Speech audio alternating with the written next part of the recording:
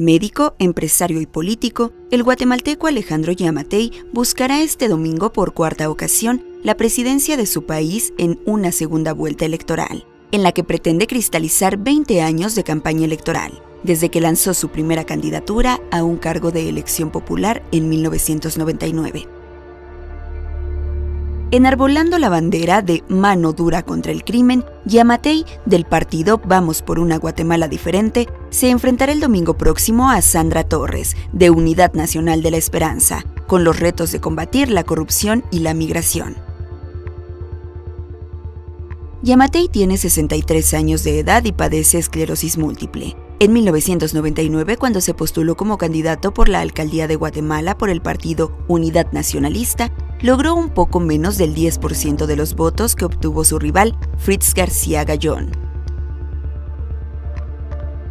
En 2007 se lanzó por primera vez en busca de la presidencia del país. Luego lo hizo en 2011 y en 2015, pero en todas sin éxito. En 2006 fue nombrado director del Sistema Penitenciario de Guatemala. Fue responsabilizado por la muerte de varios reos durante un operativo de la policía para recuperar el control de la cárcel Granja Penal de Pavón. Yamatei fue encarcelado 10 meses y luego liberado tras ser absuelto de los cargos. Sus principales propuestas en esta contienda electoral son reactivar la aplicación de la pena de muerte en Guatemala, suspendida desde hace 19 años, crear un Consejo Nacional de Seguridad y aplicar mano dura contra el crimen común y el narcotráfico.